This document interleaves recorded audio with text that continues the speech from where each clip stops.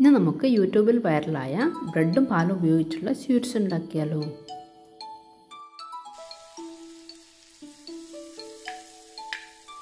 ഇതിനു വേണ്ടി ഒരു പാനിലേക്ക് ഒരു ചെറിയ കഷ്ണം ബട്ടർ ഉരുക്കിയെടുക്കാം.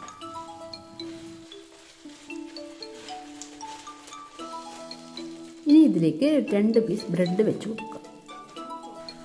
ഇനി ബ്രെഡിന് മുകളിൽ കൂടി ഒരു കപ്പ് പാൽ ഒഴിച്ചു കൊടുക്കാം.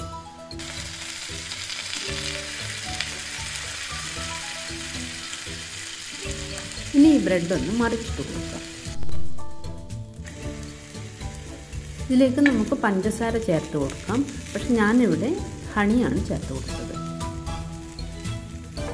പാനിൽ നിന്ന് പാത്രത്തിലേക്ക് മാറ്റിയതിന് ശേഷം ഹണി ഒഴിച്ച് കൊടുക്കാം.